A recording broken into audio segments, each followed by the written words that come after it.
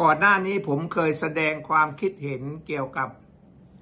คดีที่ 40 สว ยื่นต่อสารรัฐธรรมนูญ เพื่อถอดถอนให้คุณเศรษฐาทวีสิน นายกรัฐมนตรี พ้นจากตำแหน่ง ในการที่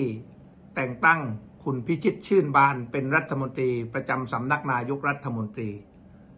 ซึ่งขัดต่อบทบัญญัติของรัฐธรรมนูญ ตอนนั้นผมก็ฟันธงว่า คุณเศรษฐา จะรอดจากคดีนี้ร้อยเปอร์เซ็นต์เพราะว่าตอนนั้นผมเห็นว่า คุณเศรษฐาเป็นคนเดียวที่มีความเหมาะสมที่จะเป็นนายกต่อไปได้ ยังไม่มีตัวแทนหรือยังไม่เห็นคนใดที่เหมาะสมที่จะเป็นนายกหลังจากคุณเศรษฐา แต่ว่าตอนนี้ผมก็เปลี่ยนใจ ผมก็คิดว่าจากที่ผมฟันตรงว่าร้อยเปอร์เซ็นความรู้สึกผมเนี่ย เหมือนกับอยู่ในลักษณะห้าสิบห้าสิบหรือ49ต่อ51ด้วยซ้ำไป เมื่อสารรัฐธรรมนูญนัด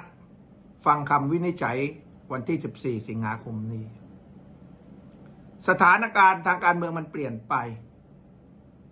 หลังจากที่คุณทักษิณกับคุณอนุทินชาญวีรกุล หัวหน้าพักภูมิใจไทยได้พบกันที่เขาใหญ่ออกรอบตีกอล์ฟกันร้องเพลงสังสรรค์กัน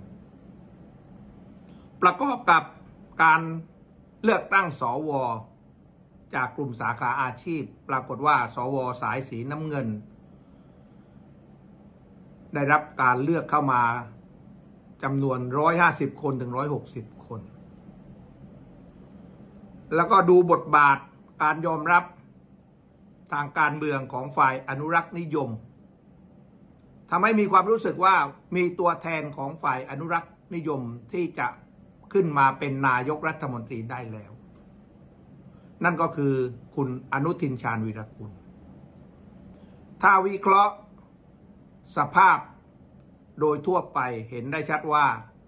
วันนี้คุณอนุทินชาญวีรกุลมีความพร้อม แม้ว่าตัวเองจะถ่อมตัวไปหน่อย แต่ว่าเป็นเรื่องปกติทางการเมืองนะครับ การเมืองไทย ถ้าอยากเป็นก็จะไม่ได้เป็น แต่ถ้าไม่อยากเป็นก็จะได้เป็น นี่ตรงกับบุคลิกของคุณอนุทินชาญวีรกุลครับ วันนี้ต้องยอมรับนะครับ หัวหน้า หรือแกนน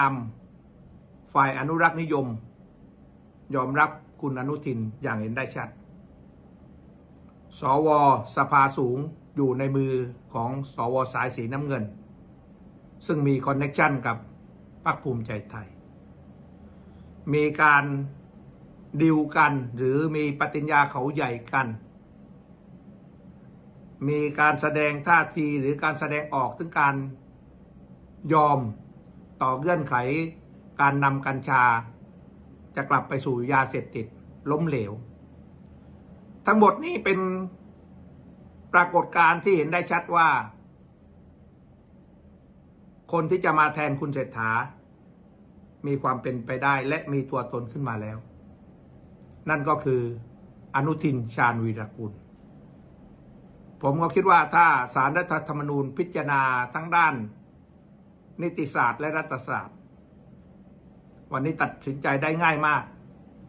จากเมื่อก่อนไม่มีตัวตายตัวแทนที่จะเป็นนายกรัฐมนตรี วันนี้มีแล้วจำชื่อนี้ไว้นะครับอนุทินชาญวีรกุล